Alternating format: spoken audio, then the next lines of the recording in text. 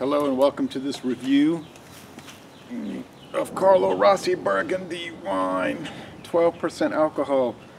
Um, on the website, they say that um, it's from 1975, but then if you look at the history, they're saying originally it was Carlo Rossi Red Mountain Wines, 1962, and then in 75 they dropped the Red Mountain, and then they say, although it's still on some of the labels. So it's kind of like introduced in 1962 and rebranded to some extent in 75.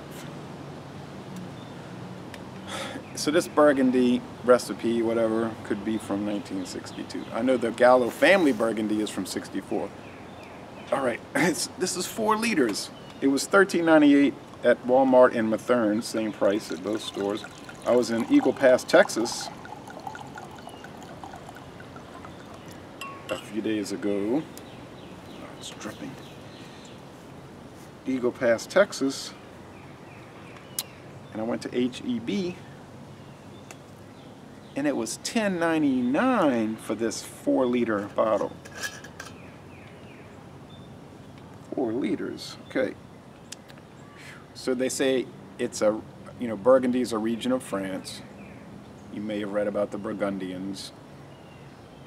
They were like the second most powerful group in France, aside from the king. There was a little showdown with them.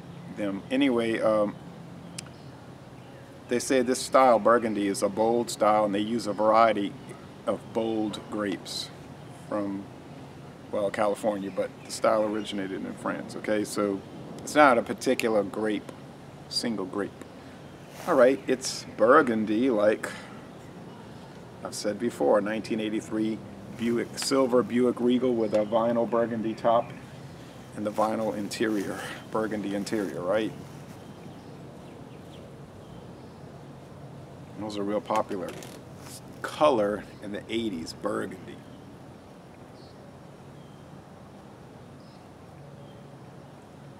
Especially for Buicks for some reason. Maybe Dodge Miradas also always had these burgundy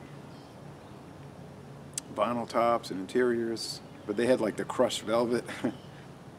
anyway, I just remember everybody saying that and talking about, oh yeah, I like that burgundy. Okay, um, Ernest and Julio Gallo is the company, family owned, still today. Some alcohol eggs here, beautiful color. So let's see how it goes for a what the company would call a popular priced wine, something like that. They don't say cheap.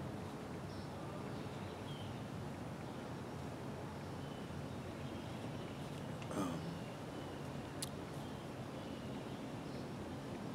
it's very fruity. It is bold in the aroma. It's not boozy or anything. It's just bold, sharp, red grapes. And it's the same thing in the flavor. It's a strong flavor. Might turn some people off.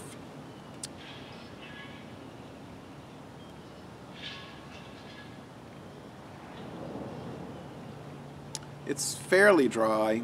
It's not as dry as the Merlot, but it's like medium dry.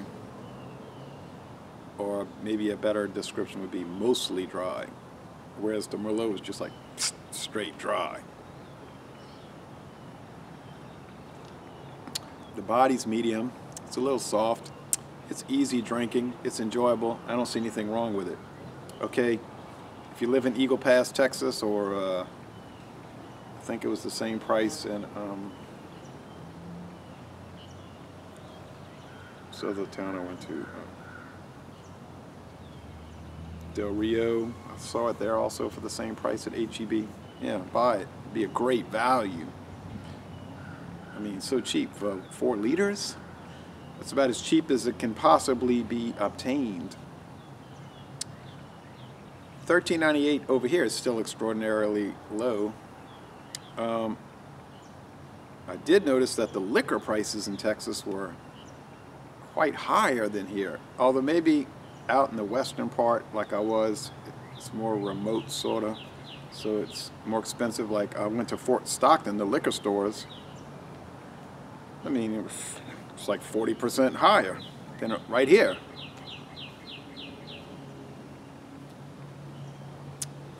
And they had things in Fort Stockton I wanted to buy, but I did not do it.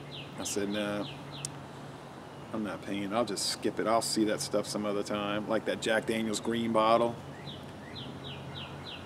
I thought it was rare, then I see the big jug, the regular size bottle, the smaller bottle, and it was like outlandishly expensive. And then the regular Jack Daniels was so much more expensive. It was like 30 something dollars for the 750 and it was $21.99 here. So $21.99 is like $34, $35 over there. I said, uh-uh, no way, thanks, but no thanks. Back to this.